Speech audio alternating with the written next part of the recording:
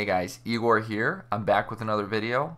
I was on Twitter last night and I saw that Procreate had posted an interesting little teaser for their upcoming update. So let's take a closer look at that video and see if we can find out what it is that they're actually going to be rolling out. So this is the 10 second video. As you can see here, they only flash some of the features for a very short amount of time, but I want to take a look at it again in slow motion and we can talk about what it is that they're showcasing. So the first shot that we see is a person using the Apple Pencil, but their other hand is resting on a keyboard, which suggests that Procreate will now support keyboard pairing, having the ability to access shortcuts with a couple of keys. Switch tools on the fly means an increased workflow, so that's really exciting. So looking closely at the next scene, you see that a person is merging two existing layers together. But what stands out to me is the layer below that, the background layer.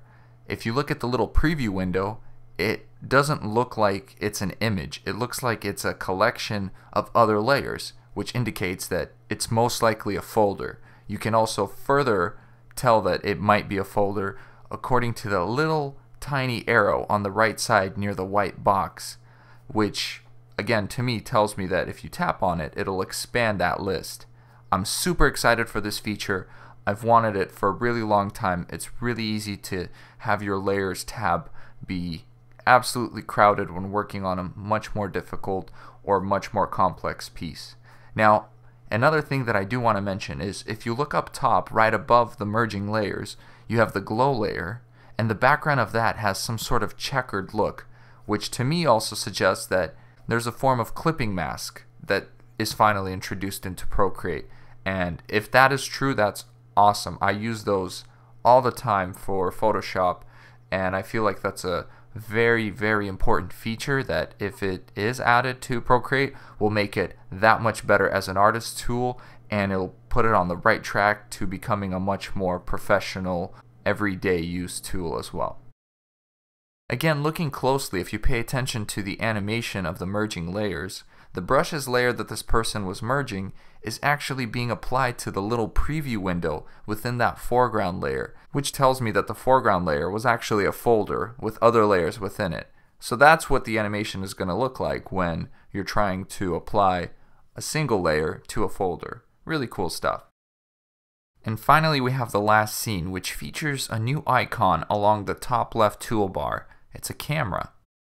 In the next image, right after the camera icon, is a countdown timer, but if you look below that, it says prepare to go live, which indicates that, yeah, you can probably stream your drawings uh, via Procreate. Maybe they'll have some sort of Procreate TV on their site. I'm not exactly sure how they're going to tie this in.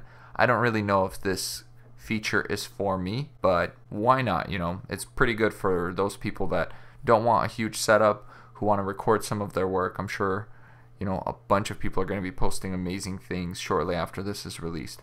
So these are the three big features of the next update. And the video ends on this note. If you can't already tell, I'm really excited for the next update. I think having clipping masks and folders is going to make complex drawings that much easier on Procreate. Uh, the addition of a keyboard, I might have to get a Bluetooth keyboard and maybe I'll do a review on that too. And another thing that I did want to mention that's sort of off topic, I ended up purchasing a new case for my iPad recently and I thought it was really cool. Look, it's got a pencil holder. I think it was like 12 bucks on Amazon or something. I'm not sure what it's called. Poetic, according to the back here.